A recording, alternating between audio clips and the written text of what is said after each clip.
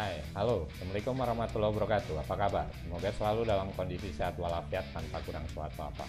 Ya, Alhamdulillah berjumpa lagi dengan kami pada kesempatan video kali ini di ruang praktek listrik tempat belajar listrik online. Ya, pada video kali ini kita akan membahas salah satu mata pelajaran di kelas 11 teknik instalasi tenaga listrik ya terkait dengan instalasi penerangan listrik di mana kita akan membahas pada bagian dua ini adalah instalasi penerangan pada bangunan sederhana. Oke teman-teman, kita mulai. Ya, kompetensi dasarnya yang akan kita bahas ya. Di pertemuan yang pertama kita sudah membahas kompetensi dasar 3.1 dan 4.1. Kemudian pada video kali ini kita akan membahas kompetensi dasar 3.2 yaitu menentukan tata letak komponen instalasi penerangan pada bangunan sederhana, merencana tata letak komponen instalasi penerangan pada bangunan sederhana. Kemudian untuk kompetensi dasar 3.3 dan 4.3 kita akan bahas di bagian ketiga video yang akan datang. Ya, materi pokok pada video kali ini yang kita akan bahas adalah instalasi penerangan pada bangunan sederhana, di mana sebelumnya kita sudah membahas instalasi penerangan satu fasa sesuai dengan kuil, dan bahan serta biaya untuk instalasi penerangan satu fasa kita akan bahas di bagian ketiga atau video yang akan datang. Ya, instalasi penerangan pada bangunan sederhana. Tetapi sebelum itu, bagi teman-teman yang sudah subscribe dan menekan tombol notifikasinya, dan sudah update video-video dari ruang praktek listrik tempat belajar listrik online, saya ucapkan terima kasih dan semoga bermanfaat. Bagi teman-teman yang belum menekan tombol subscribe dan notifikasi atau loncengnya, saat ini teman-teman bisa menekan tombol subscribe dan notifikasi untuk bisa update video-video dari ruang praktek listrik tempat belajar listrik online. Ya, menentukan tata letak komponen instalasi tentunya. Kaitannya dengan penempatan komponen dalam perencanaan maupun dalam proses pemasangan ada beberapa hal yang harus diperhatikan agar saat instalasi tersebut dioperasikan, hasilnya memenuhi standar pelayanan instalasi. Penempatan titik cahaya atau lampu, stop kontak atau kotak kontak, dan saklar harus mempertimbangkan kemudahan dalam pelayanan. Penempatan titik beban, penempatan titik kontak, penempatan saklar, ini harus memenuhi standar kuil dan kemudahan dalam pelayanan teman-teman. Ya, penempatan titik beban atau titik lampu.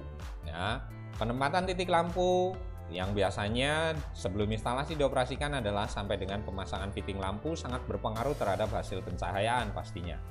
Hasil pencahayaan yang baik dapat diperoleh dengan mengkombinasi penempatan titik lampu dengan pemasangan armatur yang dibutuhkan.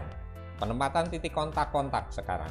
Kontak-kontak atau stop kontak umumnya dipasang di area atau di ruangan yang dimungkinkan ya tidak ditempati perabot rumah tangga seperti lemari yang besar atau kemungkinan ada meja dan lain sebagainya atau perabot-perabot yang besar.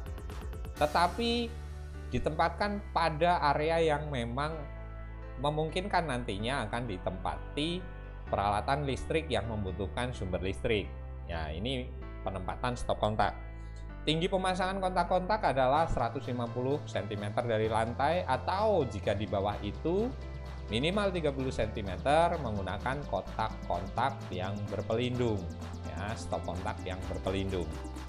Ya penempatan saklar dinding atau saklar pada umumnya di instalasi penerangan sederhana untuk memudahkan pelayanan tata letak saklar sebaiknya mengikuti aturan berikut ini. Tinggi saklar dari lantai 150 cm Jarak saklar dari ujung ruangan atau ujung tembok sekitar 20 cm. Saklar tidak ditempatkan di belakang pintu saat pintu dibuka, ya, daun pintunya dibuka, tidak tertutup oleh daun pintu. Kemudian penempatan saklar mudah dijangkau dan dekat dengan pintu masuk ruangan. Ya, ini hal-hal yang perlu diperhatikan teman-teman. Iya, teman-teman yang belum menekan tombol subscribe, saatnya teman-teman untuk menekan tombol subscribe dan notifikasinya karena akan update video-video dari ruang praktek listrik tempat belajar listrik online baik teori maupun praktek tentang kelistrikan teman-teman. Terima kasih yang sudah subscribe dan semoga bermanfaat. Ya, Berikutnya, rancangan atau hubungan antar komponen pada instalasi penerangan. Ya, hubungan antara komponen pada instalasi penerangan. Ini kita juga perlu tahu, rancangan instalasi sederhana terdiri dari saklar dan satu atau sekelompok lampu. Ya, dikombinasi dengan stop kontak pastinya. Nah, contoh rangkaian pertama di sini adalah saklar tunggal untuk mengoperasikan sebuah lampu. Ya, saklar tunggal atau S1 ini, kemudian ada L1 atau lampu. Ya, ini sebelah kiri adalah gambar diagram garis tunggal, kemudian sebelah kanan adalah gambar pengawatan, wiringnya. Ya, jadi netral langsung ke lampu, kemudian fasa ini yang diputus dan dihubungkan oleh saklar. Jadi pada pemasangan saklar yang pertama yang perlu diperhatikan adalah kabel fasa yang masuk ke saklar. Jadi nanti saat dihubungkan saklar ini tuasnya maka lampu akan hidup. Oke, kemudian contoh rangkaian dua, saklar seri. Ini juga sangat sering dipakai di instalasi penerangan sederhana. Ya, saklar seri. Ya, ini adalah untuk mengoperasikan lampu lebih dari satu, L1, L2. Nah, gambar pengawatannya seperti ini. Jadi sumber masuk ke dalam saklar terbagi menjadi dua tuas. Masing-masing tuas bekerja sendiri-sendiri, independen ya bisa bersamaan bisa sendiri-sendiri. Jadi S1 ini saklar seri ini atau saklar ganda untuk mengoperasikan dua buah lampu. Ya ini uh, penjelasan sederhananya seperti ini. Jadi S1 saat tuas bagian atas dioperasikan berarti lampu satu yang menyala. Tuas bagian dua atau yang bawah yang ditekan dioperasikan maka lampu dua yang akan menyala atau L2. Oke, yang berikutnya adalah contoh rangkaian ketiga yaitu saklar tukar atau saklar hotel untuk mengoperasikan sebuah lampu dari dua tempat. Simbolnya agak berbeda ya teman-teman. S1 saklar hotel pertama, kemudian saklar hotel kedua dan mengoperasikan sebuah lampu. Ya, ini. Ya, saklar Hotel atau saklar tukar ya memiliki tiga titik kontak ya di mana posisinya seperti ini ada posisi satu, posisi dua ya tuasnya bisa digerakkan ke kiri dan ke kanan ya saklar dua atau uh, saklar tukar yang kedua juga sama. Nah bagaimana supaya lampu ini bekerja dari dua tempat kita coba urutkan ya karena netralnya sudah sampai ke lampu fasa ini masuk ke posisi sumber, kemudian posisi satu, ya kita urutkan, dia akan terhubung dengan posisi dua, saklar dua. Nah, kondisi ini lampu tidak uh, menyala. Ya, kondisi ini lampu tidak beroperasi. Bagaimana cara mengoperasikannya? S1 ditekan, posisinya menjadi ke sebelah kanan. Ya, kita urutkan. Ya, apakah lampunya menyala? Kita coba. Nah, ya. Melalui posisi satu saklar 2, ya, tuasnya masih di posisi satu, maka lampu ini akan menyala. Nah, kemudian ini misalnya kita tempatkan di ujung lorong saat kita masuk kita nyalakan lampu di lorong menyala. Kemudian saat kita berjalan sampai ujung lorong berikutnya di ujung lorong akhir kita tinggal mematikan dari saklar kedua. Kita posisikan ke saklar. Saklar dua atau saklar tukar yang kedua tuasnya kita posisikan ke posisi dua. Maka lampu ini akan berhenti bekerja. Kemudian saat kita kembali dari ujung lorong akhir mau ke kembali ke tempat awal tadi di posisi saklar satu kita tinggal operasikan lagi. Ke posisi semula ke posisi satu. Ya lampunya menyala kemudian kita berjalan sampai di posisi awal. Ya kita matikan. Ya posisinya atau cara kerjanya sederhana seperti itu. Nah kita akan simulasikan di video video berikutnya teman-teman. Ya ini kita bahas secara teori dulu. Oke yang selanjutnya. Ya Kombinasi saklar tunggal dengan saklar tukar untuk instalasi gudang yang cukup panjang. Ya, ini gudang. Ya, kalau tadi adalah lorong, kalau ini adalah gudang. Nah, gudang pintu masuknya hanya satu. Ya, jadi gambarannya adalah kita operasikan saklar satu untuk menyalakan lampu satu di bagian gudang uh, depan misalnya.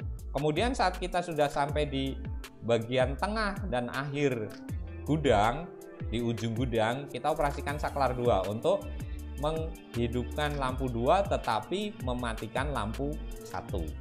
Nah, saat kita mau kembali ke pintu keluar, kita operasikan saklar 2 untuk mematikan lampu 2 tetapi menghidupkan lampu 1.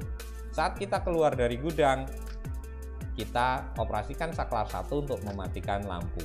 Nah, kita akan lihat di gambar pengamatannya. Ya, saat kita posisi di S1 di pintu gudang, kita operasikan. Ya, saklarnya terhubung Kemudian lampu satu apakah menyala? Ya, kalau melihat urutan kabel fasanya, ya lampunya menyala. Kemudian kita berjalan dari pintu masuk ke dalam gudang, ya. Kemudian kita operasikan saklar dua. Saklar dua kita tekan maka tuasnya akan ke kanan. Ya. Apakah lampu satu akan mati? Ya, karena terputus di sini tadi. Pindah ke kanan yang menyala sekarang tinggal uh, maaf oke kita kembali tinggal lampu dua yang menyala ya saat kita sudah bekerja di gudang dan kemudian kita ingin kembali lagi maka kita operasikan saklar dua untuk mematikan lampu dua saat kita sudah di posisi saklar satu ya kita matikan lampu satu melewati atau menggunakan saklar satu atau saklar tunggal. Ya ini adalah kombinasi saklar tunggal dengan saklar tunggal untuk instalasi gudang teman-teman. Ya kemudian perencanaan instalasi penerangan. Ya tata letak kemudian hubungan komponen, yang ketiga adalah perencanaan. Untuk mendapatkan instalasi yang aman, andal, ekonomis, harus dilakukan perencanaan dan desain instalasi yang tepat.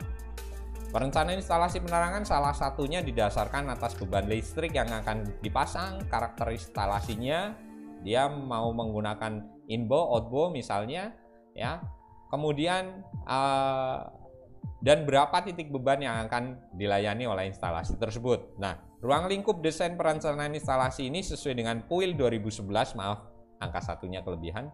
Pada ayat 2.1.2.3, desain instalasi listrik terdiri dari ya, gambar instalasi, ya, gambar instalasi, gambar situasi, gambar diagram garis tunggal, gambar rinci, perhitungan teknis, tabel uh, bahan instalasi dan urian teknis serta perkiraan biaya.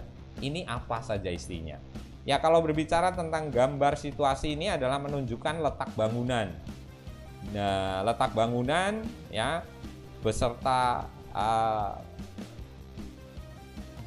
dekatnya dari sumber listrik misalnya dari tiang atau gardu trafo ya lengkap dengan alamat jalannya ya ini gambar situasi kemudian gambar instalasi di sini adalah desain tata letak yang menunjukkan komponennya ya komponen-komponen yang akan terpasang di sana ya. Gambar hubungan antara sirkuit akhir yang ber, uh, kemudian hubungan perlengkapan listrik dan pengendalinya saklar dengan lampunya ya. Ya ini. Kemudian diagram garis tunggal adalah diagram uh, lengkap ya mengenai ukuran dan besarnya uh, komponen PHB dan jumlah bebannya. Ukuran penghantar jenis penghantar dan jenis pembumian. Ini untuk gambar uh, diagram garis tunggal. Kemudian gambar rinci adalah perkiraan ukuran fisik PHB, cara pemasangan perlengkapan listriknya, cara pemasangan kabel, kemudian cara kerja kendalinya. Kemudian perhitungan teknis, ya ini terkait dengan drop tegangan atau turun tegangan yang mungkin terjadi perhitungannya.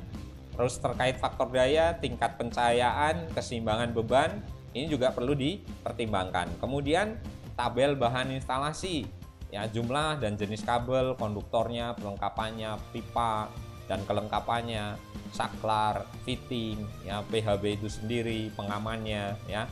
Ini tabel bahan instalasinya. Kemudian uraian teknis di sini adalah ketentuan tentang sistem proteksinya, perhitungannya, ya. Cara pemasangannya, cara pengujiannya dan jadwal pelaksanaan pemasangannya. Kemudian yang terakhir adalah perkiraan biaya. Bahan dan ongkos kerja di dalamnya. Oke. Okay. Ya, mendesain instalasi listrik penerangan bangunan sederhana ya adalah uh, seperti kita ketahui bahwa instalasi penerangan bangunan sederhana ini merupakan komponen penerangan yang paling banyak dipasang di sana dengan spesifikasi sederhana ya dan menggunakan juga teknologi yang sederhana. Nah, biasanya untuk bangunan yang memiliki maksimal dua lantai dan luas maksimal 500 meter persegi. Ya, langkah-langkah merencanakan instalasi penerangan bangunan sederhana dapat menggunakan gambar, baik manual maupun komputer, tetapi tetap mengacu pada ketentuan gambar teknik. Ya, langkah-langkah dalam merancang instalasi pencahayaan atau instalasi penerangan bangunan sederhana yang pertama adalah kita pastinya akan menggambar denah bangunannya, menentukan daya yang akan terpasang, menentukan sistem pengaman yang akan digunakan, mengadakan perhitungan susu tegangan, membuat uraian perlengkapan yang diperlukan dalam instalasi. Ya, ini adalah satu contoh yang saya ambil dari buku referensi. Ini adalah contoh gambar rencana instalasi penerangan rumah sederhana. Ya, di mana ada gambar denah bangunan, ada gambar hubungan antara uh, beban dan kelengkapan kendalinya, ada saklar, ada stop kontak, ada lampu. Ini semuanya terhubung sampai dengan uh, hubungan dengan uh, apa namanya pengamannya di sini PHB ya. Kemudian juga dilengkapi dengan gambar pengawatannya ya. Dari gambar diagram uh, garis tunggal tadi lengkap dengan hubungan komponen listriknya kemudian ini dilengkapi dengan gambar pengawatan teman-teman oke teman-teman terkait dengan uh, instalasi penerangan bangunan sederhana semoga bisa bermanfaat. Yang pasti bahwa banyak video-video nanti yang akan kita update di ruang praktek listrik tempat belajar listrik online. Sekali lagi selamat uh, mempelajari ketenaga listrikan. Sekali lagi semoga bermanfaat dan terima kasih. Wassalamualaikum warahmatullahi wabarakatuh